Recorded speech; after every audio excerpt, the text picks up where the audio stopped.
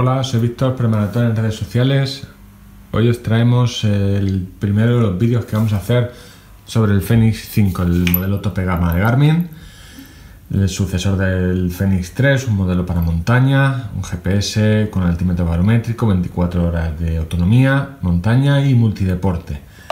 En este primer vídeo vamos a intentar explicar cuáles son los menús y qué novedades tiene respecto al Fenix 3 estéticamente es muy similar, pero sí que tiene algunas novedades, sobre todo a nivel de tamaño. Hemos pasado de los 51 milímetros del Fenix 3 a una carcasa de solo 47.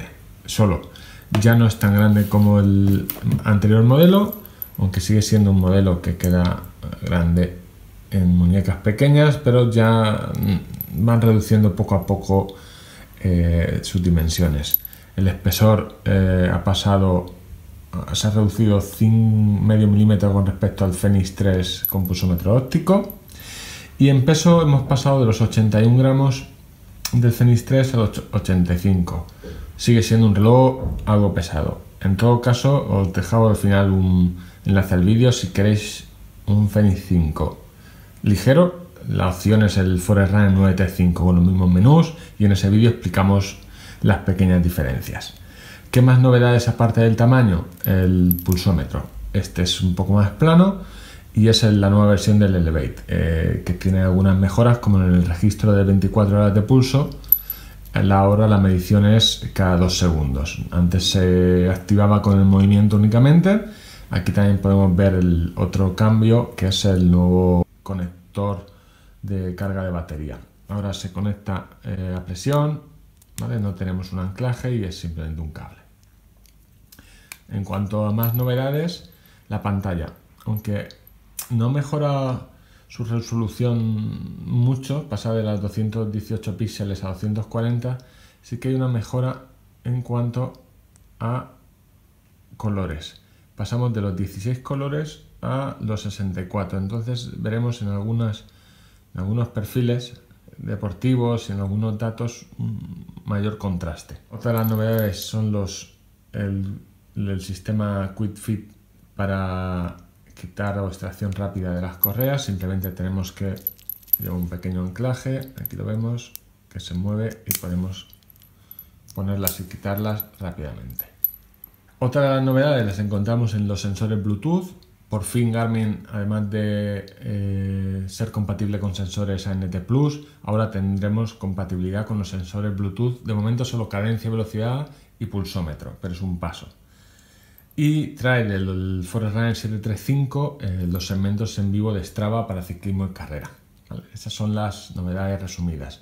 En cuanto a menús, el principal cambio lo tenemos en, un acceso rápido, un carrusel, pulsando el menú Light Aquí lo veréis, tenemos un carrusel con diferentes opciones eh, para apagar el reloj, controlar la música, buscar el teléfono, guardar un waypoint, un punto de interés, bloquear, activar el no molestar para no recibir notificaciones, sincronización o desconectarlo del, teléfono. Mantiene los mismos cinco botones, entonces eh, tenemos un menú para reloj con los widgets y otro menú deportivo. El menú deportivo se accede eh, con el botón de Start, lo veremos en un segundo vídeo.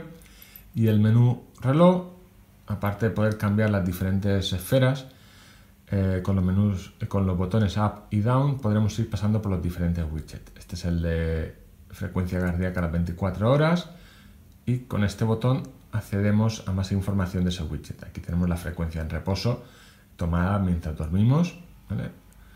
Tenemos también el widget del estado de entrenamiento, las métricas de estado de forma, donde nos dice eh, cómo el estado de, entrenamiento se mantiene y mi carga de entrenamiento es baja. Aquí tenemos el V2 máximo, el tiempo de recuperación de, la última actividad, 0 horas, la carga de entrenamientos, esto es, una novedad con respecto al Fenix 3 que podemos ir analizando con respecto a nuestro estado de forma si nos estamos pasando o no con respecto a, las sesiones de entrenamiento, si son muy fuertes o muy numerosas.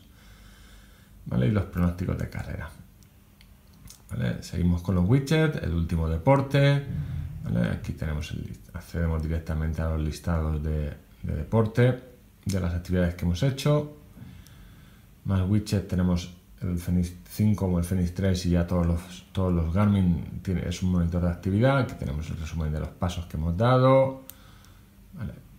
La brújula con el altímetro y el barómetro. Podemos conectar para manejar la cámara de acción VIP de Garmin los eventos de calendario al sincronizar con el móvil. Aquí tenemos las notificaciones móviles, por ejemplo, entramos a una todo hecho. Estas son las notificaciones cuando sincronizamos automáticamente con Strava. El widget del tiempo, los pasos que he subido. Si pulsamos el botón de Start, veremos los pasos que he subido eh, en la última semana.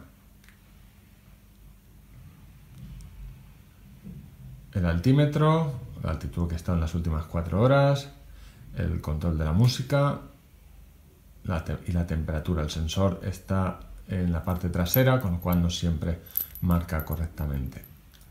Y este es el reloj. En resumen, eh, mejor resolución de pantalla, más contraste con los colores, eh, un nuevo menú rápido, sobre todo el nuevo sensor que funciona un poco mejor que el antiguo, eh, las correas de extracción rápida y los segmentos de Strava para los segmentos de Strava en ciclismo y carreteras si tenemos la versión premium de Strava.